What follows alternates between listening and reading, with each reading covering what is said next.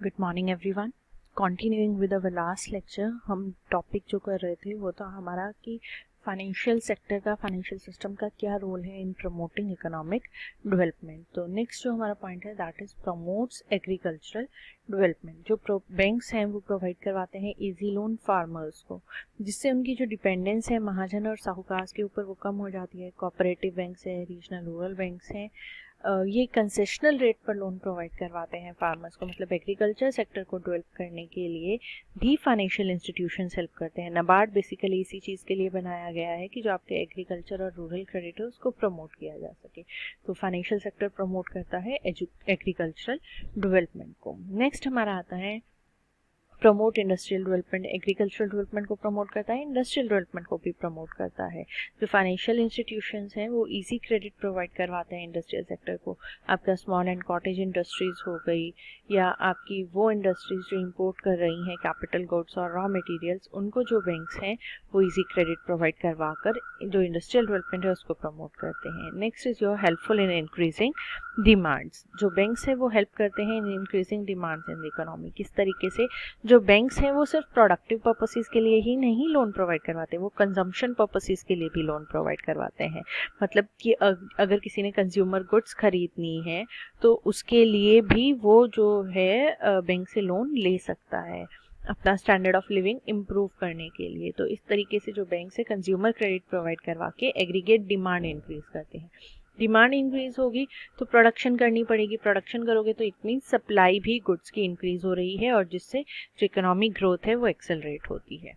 Next is your helpful in implementation of monetary policy जो आपका bank है जो बैंक्स हैं वो हेल्प करते हैं in the implementation of monetary policy monetary policy का बेसिक पर्पस बेसिकली क्या होता है? एक तो इन्फ्लेशन को कंट्रोल करना, दूसरा कि जो मनी सर्कुलेट हो रही है इकोनॉमी में, उसको कंट्रोल करना। मॉनेटरी पॉलिसी के थ्रू जो रिज़र्व बैंक ऑफ़ इंडिया है, वो डिसाइड करता है कि उसने इकोनॉमी में जो आपके क्रेडिट है, उसको इंक्रीज करना है या डिक्रीज करना है। तो जो ये चीज़ पॉसिबल होती है, जो इम्प्लीमेंटेशन है मॉनेटरी पॉलिसी वो पॉसिबल होती है बैंक्स के थ्रू ही। तो इस तरीके से जो फाइनेंशियल इंस्टीट्यूशंस हुए, उन्होंने हेल्प की in the economic development next is your promote employment financial institution help करते हैं in increasing the opportunities of employment reasonable terms पर लोन प्रोवाइड करवा के अनएम्प्लॉयमेंट जो है, जो यूथ के अमंग तो अनएम्प्लॉयड यूथ को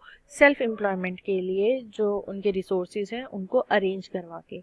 तो जो फाइनेंशियल इंस्टीट्यूशन है प्रोडक्शन और एम्प्लॉयमेंट अपॉर्चुनिटीज़ दोनों को इंक्रीज करता है और जिससे आपकी जो इकोनॉमिक डेवलपमेंट है कंट्री की वो इंक्रीज होती है।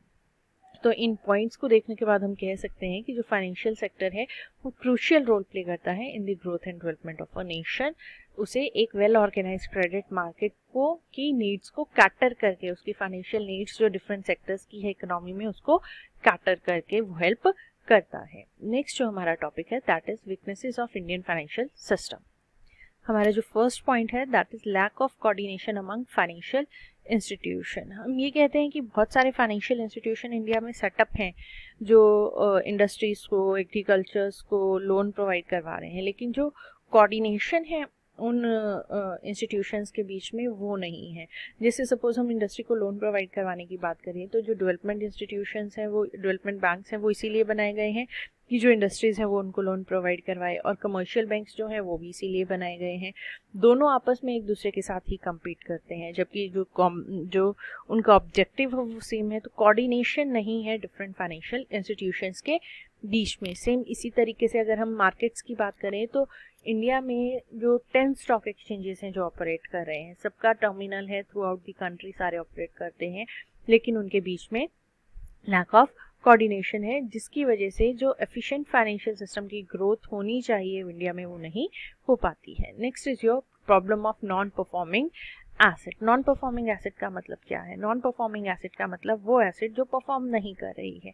परफॉर्म नहीं करने का मतलब है कि वो आपको वापस में कुछ इंटरेस्ट कमा के या कुछ रिटर्न कमा के नहीं दे रही है। तो जो बैंक्स हैं, उनके साथ एनपीएस की प्रॉब्लम है और जिसकी वजह से वो एक्चुअल में लॉस किसका है? एन अगर हो रहे हैं इकोनॉमी का है। तो वो भी प्रॉब्लम है फाइनेंशियल सिस्टम की। Next is your dominance of banks in industrial finance की, जो इंडस्ट्रियल फाइनेंस की नीड्स हैं लार्जली जो बैंक्स हैं वो पूरी कर देते हैं अगर उन्हें पैसे की ज़रूरत है। तो इसका मतलब कि फाइनेंशियल इंस्टीट्यूशन मार्केट्स में जाएँगे ही नहीं पैसा लेने। लोगों से मतलब जो पब्लिक का फंड है वो इन्वेस्ट ही नहीं होगा। तो ये भी आपकी एक प्रॉब्लम है। फाइनेंशियल सिस्टम में। Next is your excessive government interference government की इंटरफेरेंस बहुत ज़्यादा है in the functioning of financial institution stock exchanges banks rules and regulations government ने उसके लिए बनाए हैं। ब्यूरोक्रेटिक डिलेज होते हैं। टाइमली वर्क नहीं हो पाता। गवर्नमेंट ऑफिशियल्स करप्ट प्रैक्टिसेस करते हैं, जिसकी वजह से स्मूथ फंक्शनिंग जो है फाइनेंशियल सिस्टम की वो इफ़ेक्ट होती है। नेक्स्ट हमारा जो पॉइंट है फाइनेंशियल इलिटरेसी जो कॉमन मैन है, उसे फाइनेंशियल लिटरेसी नहीं है। तो जिसकी वजह से उसे इन्वेस्टमेंट अपॉर्चुनिटीज़ जो अवेलेबल है फाइनेंशियल सिस्टम में, उसकी नॉलेज नहीं है। और जिसकी वजह से जो ग्रोथ है financial system of the country की, वो इफ़ेक्ट होती है। Next is your excessive financial scams government regulate नहीं कर पाती है रेगुलेशंस ज़्यादा नहीं प्रॉपर तरीके से हो पा रही हैं और इस वजह से जो स्कैम्स हैं वो इंक्रीज हो रहे हैं। जैसे नीरव मोदी का स्कैम हुआ, विजय माल्या का स्कैम हुआ, सत्यम कंप्यूटर्स का स्कैम हुआ, जिसमें अल्टीमेटली जो पैसा है बैंक्स का, वो पैसा बैंक्स के पास किसका पैसा है? लोगों का पैसा है।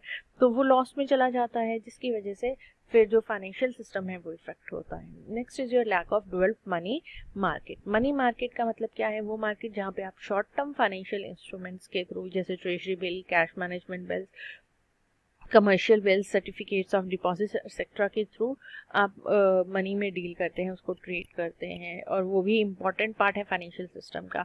तो जब शॉर्ट टर्म की नीड्स पूरी होंगी, तभी तो आप लॉन्ग टर्म की नीड्स पूरी कर पाएँगे और जो मनी मार्केट है वो इंडिया में डेवलप्ड नहीं है, जिसकी वजह से जो ग्रोथ है एफिशिएंट फाइनेंशियल सिस्टम की वो होती है। जो ग्रोथ है financial system efficient financial system की वो हिंडर होती है।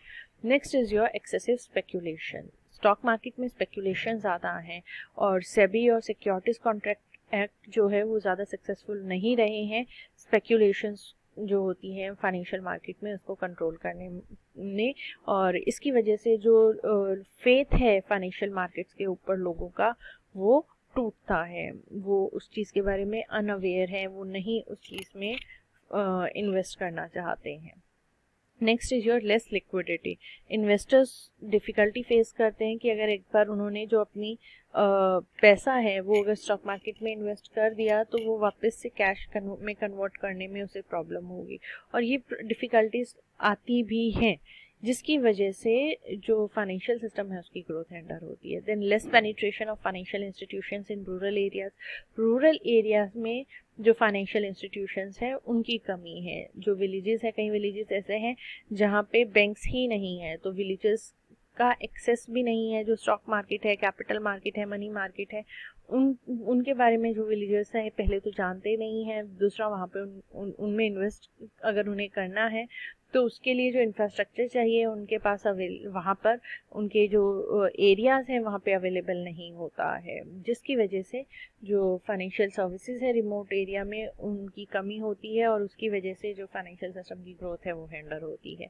Next is weak management of stock exchanges जो स्टॉक एक्सचेंजेस हैं, उनको गवर्न जो करती है बॉडी काउंसिल ऑफ़ मैनेजमेंट या बोर्ड ऑफ़ डायरेक्टर्स वो सारे मेंबर्स परमानेंट नहीं होते हैं तो वो ज़्यादा इंटरेस्ट नहीं दिखाते हैं स्टॉक एक्सचेंज के अफेयर्स में और जिसकी वजह से जो फ्रॉड्स हैं वो स्टॉक एक्सचेंज में होते हैं और अल्टीमेट लॉस जो है वो इन्वेस्टर्स को होता है और फाइनेंशियल सिस्टम को होता है। Next is your failure in checking insider trading insider trading हम किसे कहते हैं?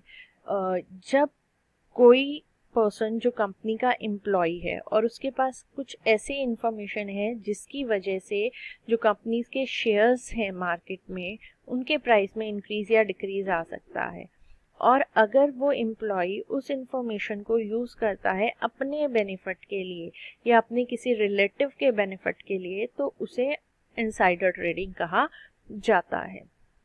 तो कंपनी ऑफिशियल और जो ब्रोकर्स होते हैं अगर अनपब्लिश्ड इंफॉर्मेशन का वो यूज़ कर रहे हैं और प्रॉफिट कमा रहे हैं तो इनसाइडर ट्रेडिंग जो है अल्टीमेटली इफ़ेक्ट किसको करेगा? जो जेनुअन इन्वेस्टर्स हैं, उनको इफ़ेक्ट करेगा। तो ये भी एक वीकनेसेस है इंडियन फाइनेंशियल सिस्टम की।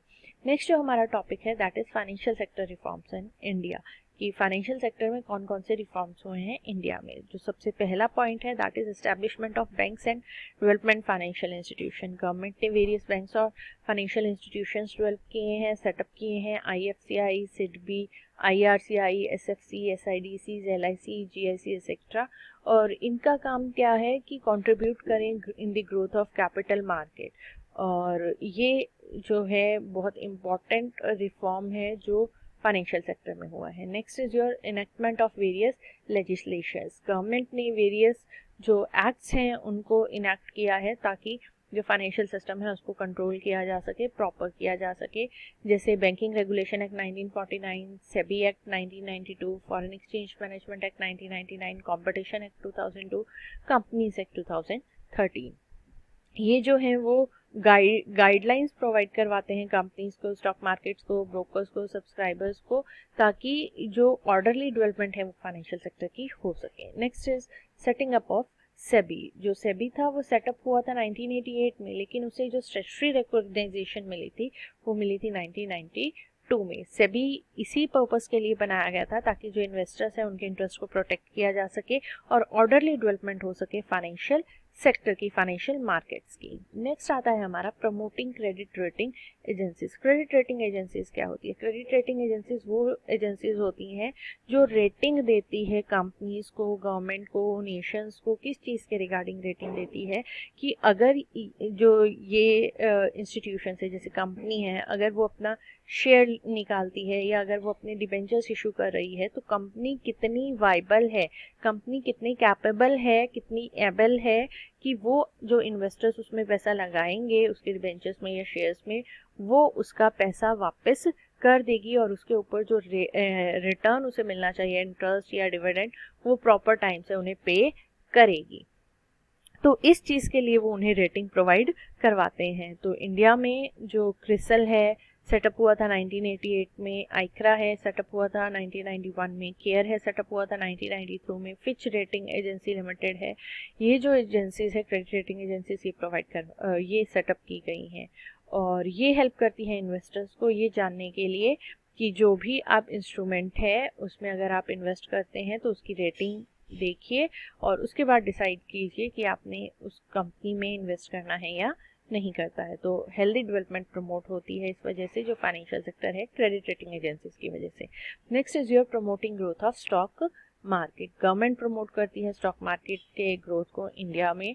नाइन्थ अप्रैल 2019 को टेन स्टॉक एक्सचेंजेस थे जो रजिस्टर्ड थे सेबी के साथ और उसमें से तीन कॉमोडिटी एक्सचेंजेस है और सेवन जो है वो डील करते हैं फाइनेंशियल सिक्योरिटीज़ में। जितनी ज़्यादा स्टॉक मार्केट्स होंगे मतलब और उनके बीच में इंटीग्रेशन होना भी ज़रूरी है। फाइनेंशियल मार्केट स्टॉक मार्केट्स होंगी फाइनेंशियल मार्केट्स होंगे तो लोग ज़्यादा से ज़्यादा कैप्चर लोगों को कर पाएँगे कि आप, जो अपनी सेविंग्स है, उनको इन्वेस्ट कीजिए चैनलाइज कीजिए प्रोडक्टिव पर्पसेस में।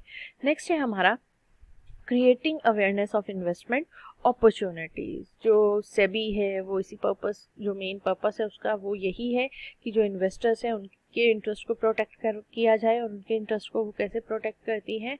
इन्वेस्टर्स की हेल्प करके, उनके ग्रीवियंसेस को सॉल्व करके, उसके लिए प्रॉपर गाइडलाइंस बना के कि कैसे कंपनीज़ को या स्टॉक मार्केट्स को अपने जो इन्वेस्टर्स हैं, उनके ग्रीवेंसेस को कितने टाइम पीरियड में सॉल्व करना है, कैसे सॉल्व करना है।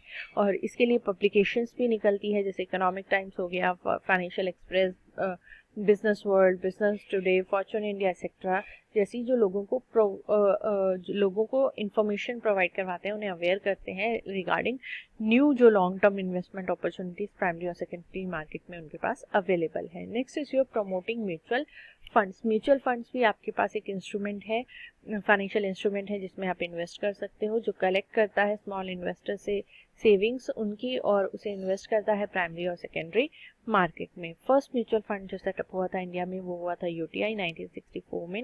1993 में गवर्नमेंट ने क्योंकि डिमांड ज़्यादा थी म्यूचुअल फंड के लिए तो गवर्नमेंट ने प्राइवेट सेक्टर को भी परमिट किया कि आप म्यूचुअल फंड्स में आ, में आ, जो आ, आपकी कंपनी है वो सेटअप कर सकते हैं। नेक्स्ट जो पॉइंट है हम अपने नेक्स्ट लेक्चर में कंटिन्यू करेंगे। Thank you so much